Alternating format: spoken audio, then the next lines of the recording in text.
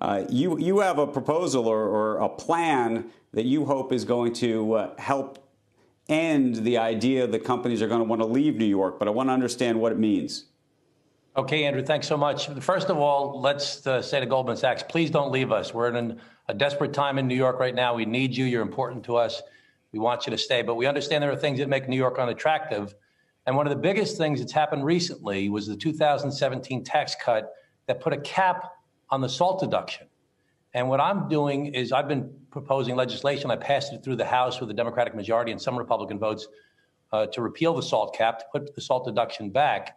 I'm going to do it again in January, but this time, let's keep track of the people that are not supporting the reinstatement of the SALT deduction.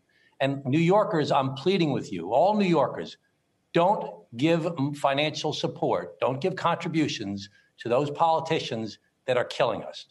They are working against us. They are they are undermining us. Don't donate to our uh, to our our demise.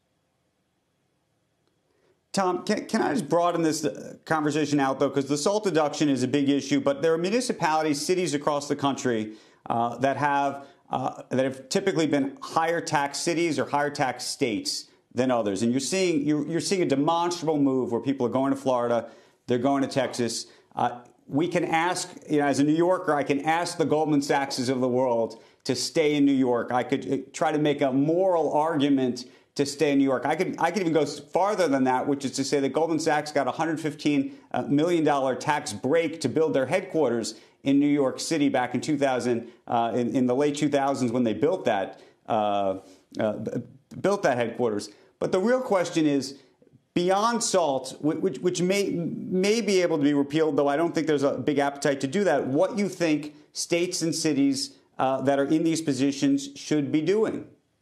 Well, I just want to just stick with SALT for one second, then I'll, I'll answer your question. We have to focus on repealing the SALT deduction. It's, a, it's, it's exacerbating the problem we faced before coronavirus, but exacerbated by coronavirus. And the SALT deduction makes it that much worse, the cap on the SALT deduction. And anybody who contributes money to politicians that don't support the reinstatement of the SALT cap, we're going to start publishing their names starting in April.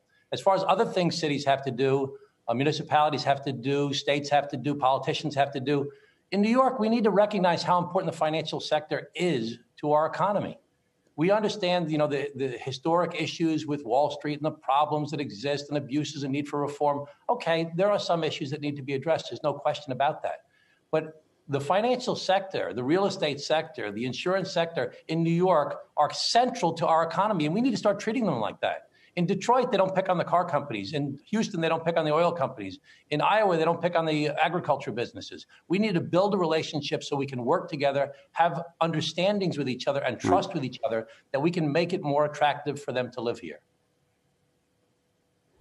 Tom, but part of the conundrum, I think, is it's not just about how the cities are treating the companies themselves. It's actually the tax rate for individuals. So, one of the things that I understand from my reporting on Goldman Sachs is that there's a group of employees who effectively think that they would like to work in Florida because their personal income taxes would be a lot lower. It becomes a more attractive place for them to be. Therefore, the employer says, if I want the talent and I want to keep everybody happy and all of that, I'm going to go to these other places. Then the question, by the way, meantime, you know, on a, from a corporate perspective, New York, even though they have very high tax rates, typically there's tax breaks left and right that have been given out to keep corporations in New York, which are not preventing them from leaving. And so the question is do you lower the tax rates here in New York, which might seem like the thing to do, but then you have an even bigger revenue problem?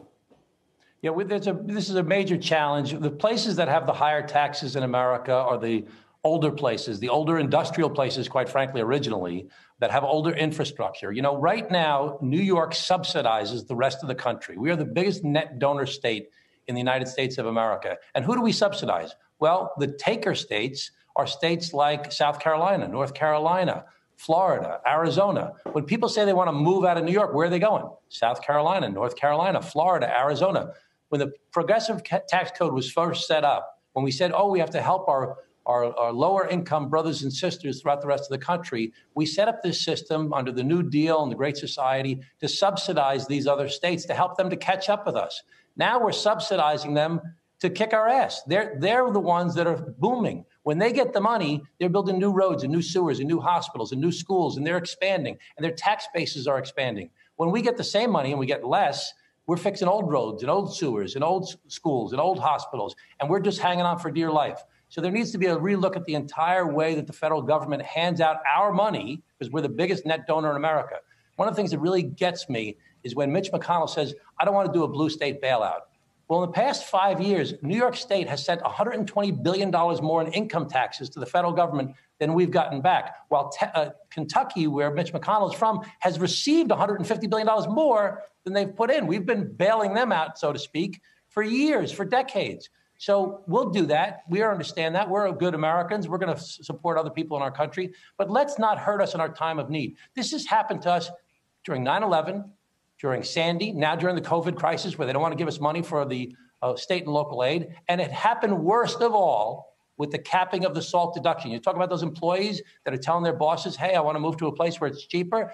The SALT deduction was a punch in the gut. It was one of the most dramatic things that have encouraged people to move out. Listen, New York will always be New York. We've got Lincoln Center, we've got Broadway, we've got these great restaurants, we have Central Park, we have all these wonderful places on the Long Island Sound, upstate New York, the Adirondacks. We have these great things. It's more expensive to live here, but it's managed to work for many, many years. But now we're in a crisis stage because of coronavirus and because of the SALT deduction. And we need to start holding those politicians accountable. And New Yorkers need to stop giving them money until they wake up to the reality that they are hurting our state, they're hurting our city, they're hurting our towns and villages. So uh, I'm going to start organizing more to hold these politicians accountable and ask New Yorkers not to contribute to them. Shepard Smith here. Thanks for watching CNBC on YouTube.